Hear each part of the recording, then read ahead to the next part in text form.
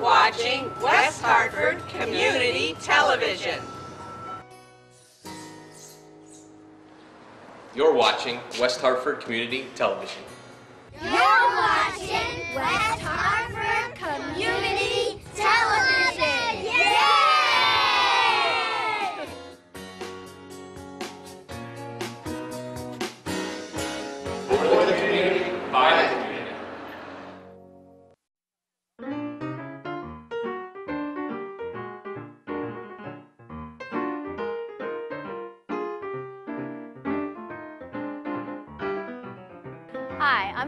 Connor, and you're watching Life and Style with Sara. On tonight's show, I'm happy to welcome back Maureen Hazley Jones, the English lady. And she is going to share with, share with us some things that we can still do in our garden, even though fall is in full force. Maureen, welcome back. Thank you very much, Sara. I'm delighted to be here. I love fall. I don't know about you. I mean, just the smell of the earth and, you know, the lovely leaves and, and everything else. And there's plenty to do in the garden. You know, you mentioned that you thought, oh, we don't have enough. Yes, Plen- I feel like the clock is ticking no, on our love, gardening no, time. no. June was a washout, as we say, literally. Yes, But, um, but, but we definitely have plenty of time, you know, through until the middle of, uh, of November, especially to do with planting bulbs. But there's absolutely plenty to do. However, that wet weather did cause a bit of trouble. So what, what, what is the residual from that? What, do, is there anything special we need to do because of it? Yes. Or, okay, yeah, so talk yeah. about that a well, little bit. really, it means taking a, a nice walk around your garden or Mm-hmm. your vegetable garden. And um, the wet weather encouraged lots of fungus, you know, and disease. So does the fungus look like sort of um, grayish stuff on the leaves? That's one of the one of the things. That's like a mildew. Yes, which is like a mildew, Yeah, which right. Mm-hmm. that's a fungus, and it's airborne. However, there are um, thousands and thousands of fungi and other diseases that have descended on our garden, as well as all of the insects Mm-hmm. and of those those little critters that are below ground too, Mm-hmm. the moles.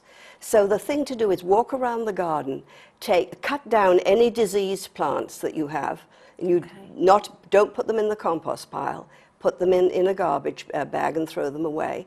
And um, So cut them down. yeah, to about six inches from the ground. Okay, so all And- the moldy foliage. all the moldy stuff, yes. Whatever. Okay. Um, and then any foliage or whatever that's fallen on the ground, Mm-hmm. Gather all of that up because a clean garden is a healthy garden, Mm-hmm. and put that in, in, a- in a bag. You know, get rid of any of that kind of stuff. And you know, just you know, check around and, and make sure that, uh, that that all looks a okay.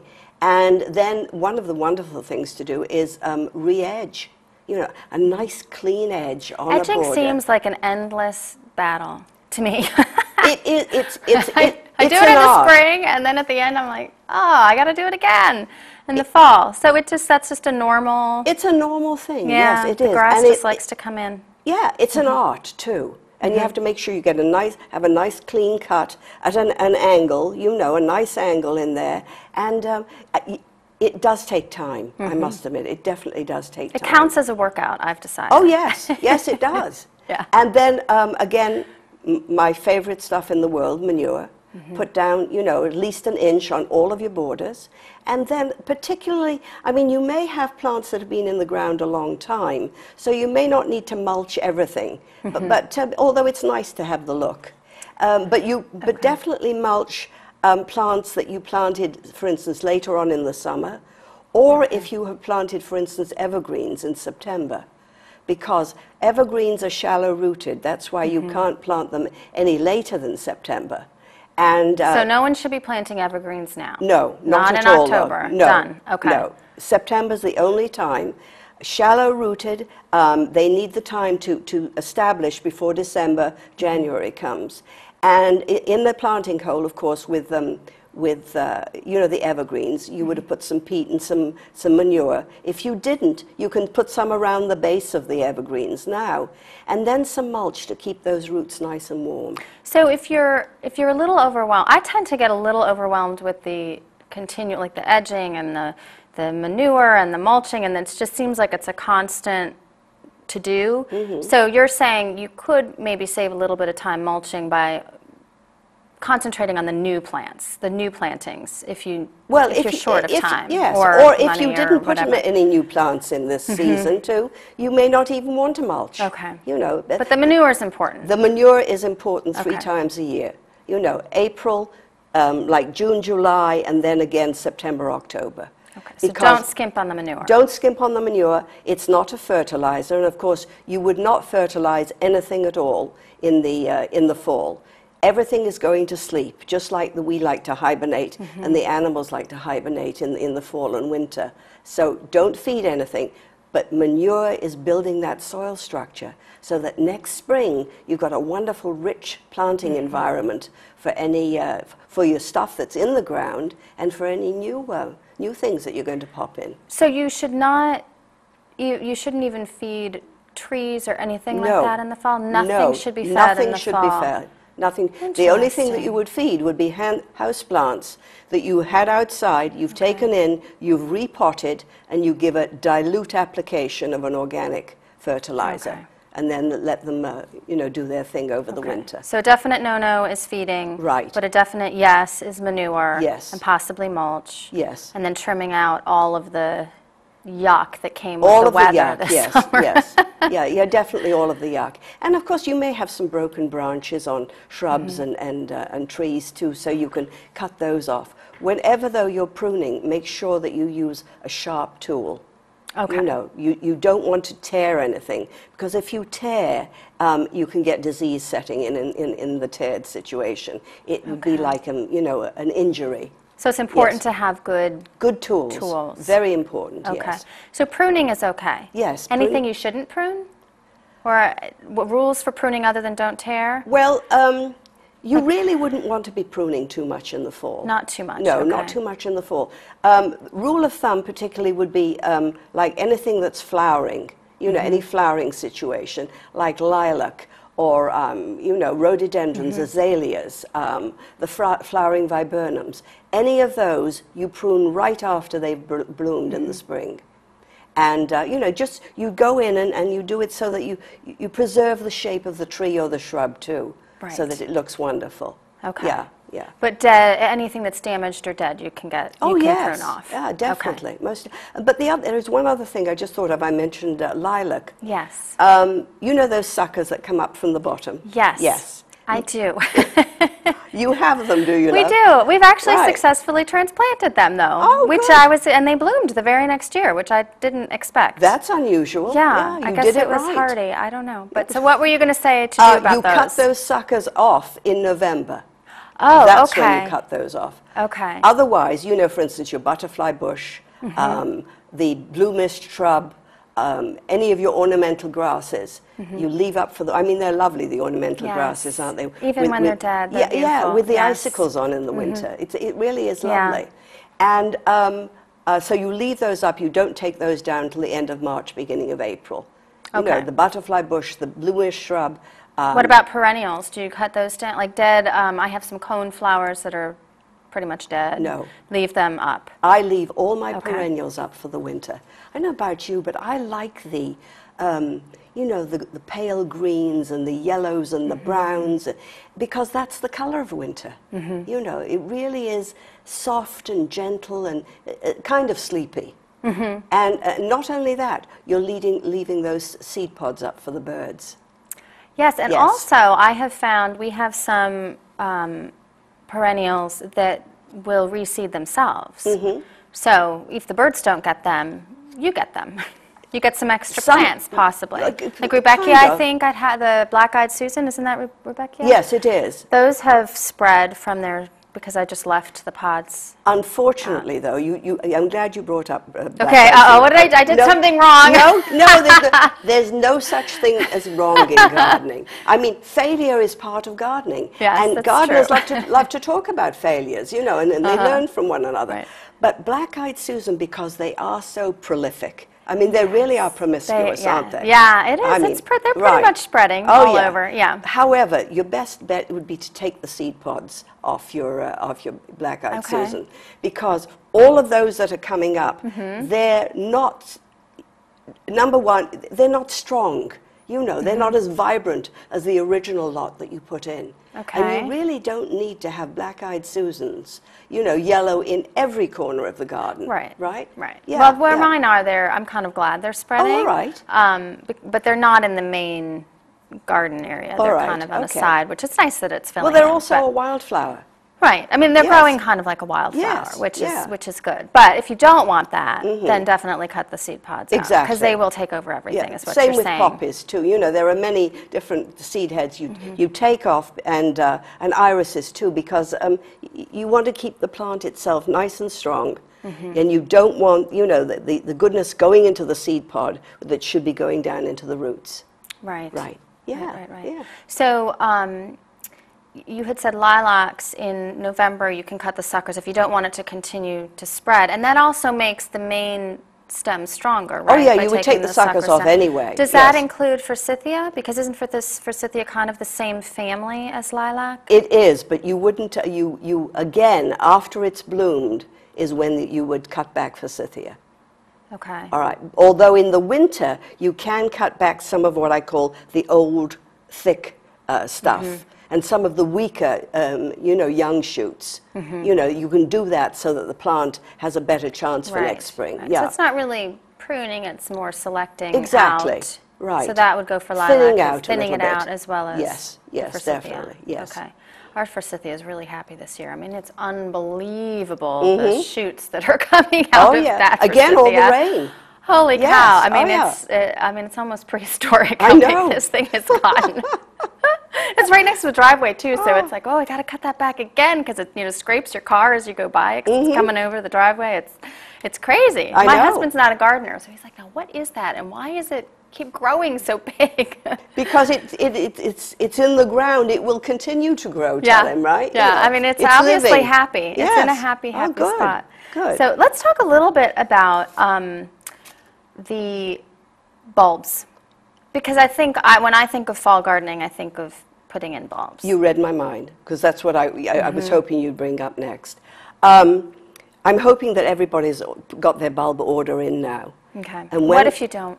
Well, um, if you don't, if you don't, you know, You may not get your pick of what you want. Well, Maybe? yes, yeah, it Yeah. gets a little a little thin. But you can also go to uh, many of the garden centres. They're Mm-hmm. really only, only well, some of them haven't even got in their, their bulbs yet. Mm-hmm. Okay. Um, go when you uh, choose your bulbs. For instance, daffodils. You Mm-hmm. don't have to get large ones because they just multiply in size and they reproduce anyway through the years. Mm-hmm. So you don't have to pay a lot of money for large daffodil bulbs.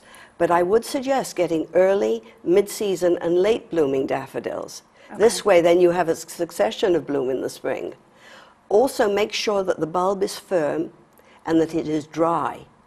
And if you can't plant when you get home, um, obviously you wouldn't plant now, you might get them now or in October. The best time to plant bulbs is the end of October, uh, first two weeks of November.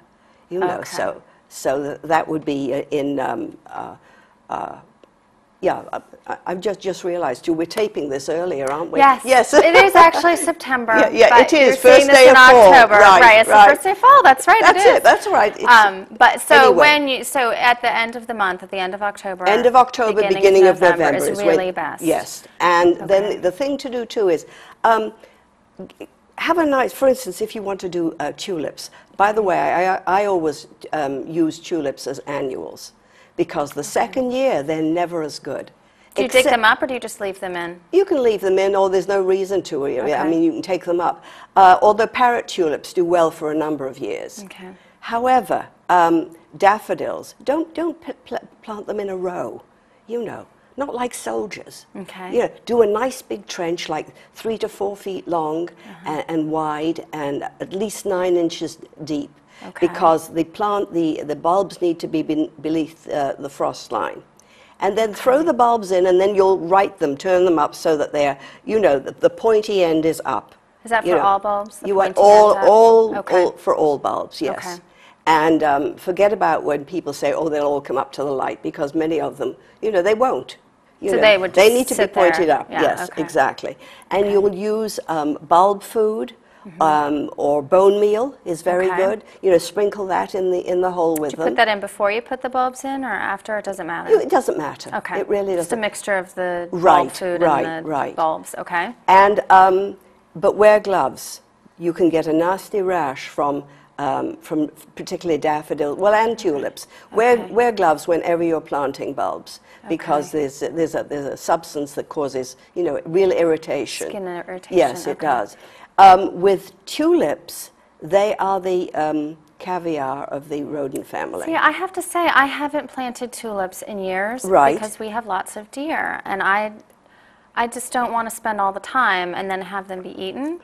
Um, so, do you have a tip on maybe how to protect them from the? Yes, Deer, yes. okay. Number one, when you dig the holes, um, you know, say you're going to do a nice swath of red tulips. Again, Okay. do a nice f- splash of color, not a whole mixture. If you do Mm-hmm. a nice splash, it's a really good look, you know, for the garden. So, design-wise, you're saying it's better to go to pick a color theme versus Exactly. doing a whole random mixture. rainbow yes, of yes. things. Okay. Because otherwise, it, you don't get the benefit, of, you know, full full Okay. impact. Okay. Um, and um, line the hole. You know, line the hole with with like a, a fine mesh chicken wire.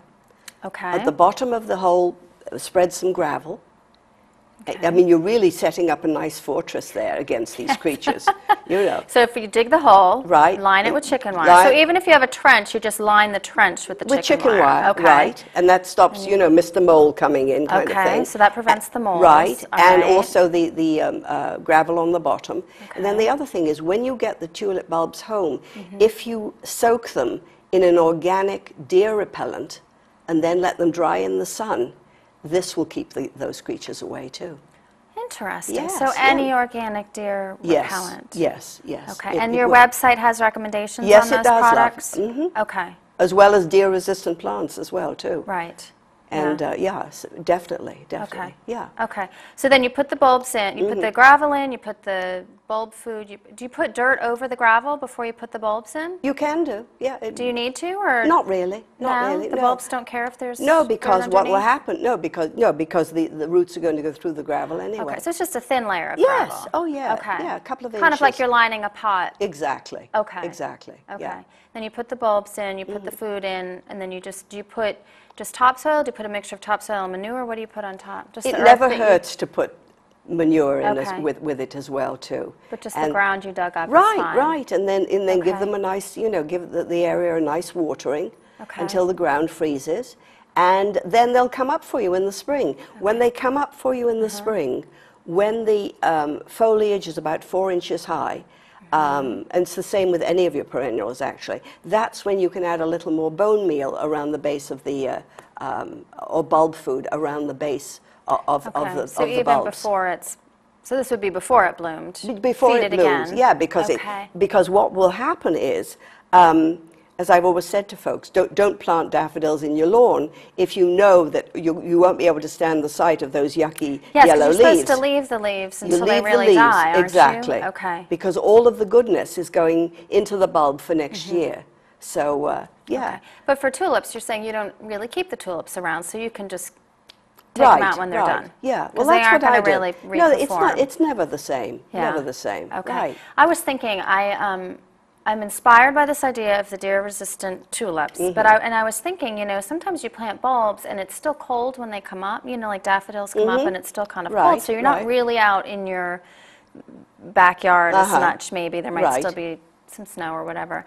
So I was thinking, maybe, do you suggest picking? Places that you can see outside your windows, since you're still Excellent a lot idea. of times Oh yes. inside. Oh yeah. And sometimes too, you'll get a, a mild spell. Mm-hmm. You know, in the, the early spring, and the bulbs will come up, and people say, "Oh, they're going to get killed." They won't. They'll be absolutely fine. fine. Yes. Okay. Yeah, absolutely. That's fine. an exciting time, isn't it? Oh, you start seeing the, the crocuses and things start Right. popping up. Right. But you can still have um, daffodils inside in the winter. The pa- paper white narcissus. Okay. Now, Right. how, how do you do that? Well, what what I do is. Um, so these are the bulbs that you buy in the fall. Yes, these are the Okay, bulbs so you you buy. hold on the- to yeah, some of those. Yeah, the the uh, paper white narcissus, and I lay mine in a in a shallow bowl of, of pebbles. Okay. Or I actually have some very tall glass vases Mm-hmm. because the, the, the narcissus get tall, And to, st- to save any flopping, the side of the vase stops them flopping over. What you do is you, you place them in the pebbles and secure them. You, you water the pebbles, put them in a dark room, dark, cool room or cupboard. And then, as soon as they start to show uh, roots, which is in about three to four weeks, you can bring them out into a low light uh, for another few weeks and then uh, bring them out into your, uh, you know, put them on the table. window. Right. Oh, wow. And what I do actually, love, wh- when the paper white narcissus come into the, into the uh, garden centres, they go Mm-hmm. very fast. So I buy about three or four dozen and I put them in the refrigerator, like in the, in the vegetable Mm-hmm. keeper at the bottom, and I'll plant up like about 12 at a time. Oh, so and you then can do it over I have a succession of bloom through the winter. Nice. It I works. like that. Yes. So you can have a little garden inside. Exactly. And also you can do the same with, um, with herbs too. If you want to, yeah, parsley, dill, basil, you know, little pots right by your kitchen window there. Just So- as long as they're getting a lot of sun. lot of sun, you Mm-hmm. feed them with an organic liquid fertilizer, keep them watered, and you'll have those fresh herbs during the winter. How frequently do you feed them? Weekly? Um, Monthly? Mm, I'd say every couple of weeks. okay. Yes, yeah, you don't want to overfeed So them. So the key is just lots of sun. Right, right. Okay, and then you can have them in And keep pot. them moist. Yeah. I had um, a friend ask me about this. Goes back to the summer that we had. This that we just were coming out of. Um, Right. The tomato blight. Yes. Uh, are we? What do we do? In, in my September show, we went to a farm and they were devastated by the tomato blight. Mm-hmm, Um, and one of the things they said they were doing is taking the plants out and really destroying them, not Yes. putting them, not mulching them or composting them back No, into the soil. no. Um, is that just the best thing you can do? Is just get rid of anything that had the blight? Are You we- can do that. Yeah. You can do that, definitely, love. But um, it, it's also soil borne, is the trouble. Yeah. Uh, so one of the best, particularly people who have vegetable gardens, Mm-hmm. one of the best soil uh, cleaning uh, things to do is to plant um, now, like now in, in October, uh, a late crop of potatoes. Really? Potatoes clean the soil. And it really helps, and they'll Okay. absorb a lot of this, the, the problems in the soil so too. if you suffered from that in your home garden, Right. you would want to try and put some Right, potatoes in. right. right. Okay. Also, um, in the veg garden too, um, if you're turning over your veggies, yeah, just let's talk about cleaning up the veg garden a yes, little bit. Yes, absolutely. Yeah, let's do that. I- I- you know, if you've got some leftover veggies Mm-hmm. in there, you know, uh, chop it down a bit. Uh, don't let the veggies get to be, you know, too thick and woody, because otherwise you'll Mm-hmm. The really need to, stems. Mm-hmm. yes, uh, chop it up. Turn the veggies into the into the soil, but only go down about six inches. Okay. Okay, and then of course add some manure, Mm-hmm. and in the um, um, what was I thinking? I'm having. I don't say a senior moment anymore. I say I'm having intellectual overload. Too many goodies in there. Oh, that's it, uh, definitely. But anyway, so um, if So you you're turning the things over into the soil. Right. What if you don't have? if you don't have right, Mm-hmm. I'm glad you prompted me on that, love. Um, if you don't have a plant a cover crop. Okay. And you what is know, a I- cover crop? And, uh, it, it's like a cover crop would be alfalfa, buckwheat, Okay. Clover, you know, and um, you'd plant that now in October. If you have clay soil, that, that cover crop will come up in about uh, four to six weeks.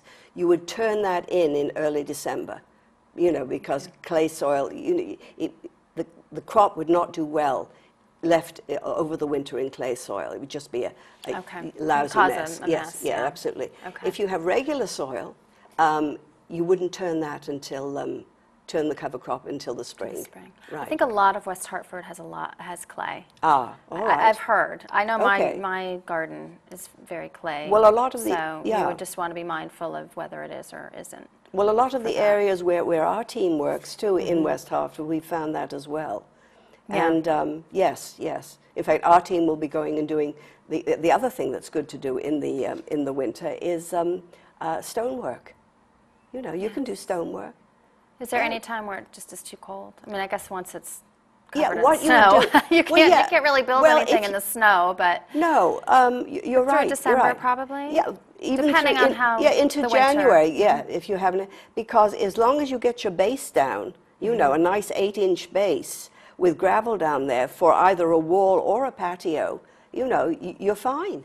So you can fine. take care of your plants as well as the structure that's Yes. surrounding your garden. Absolutely, because if you built a patio or a stone wall, you know, in the winter, it will be all ready for you to plant around in the spring. Right. Yeah. Which is nice. Yes, It's nice yes, to it feel like nice. you're accomplishing Oh, yes. something. Um, I had asked you this question. Mums that we these are from you know garden center. Right, right. And I had asked you, can you take these and put them in the ground and have them come back as perennials? Right, right.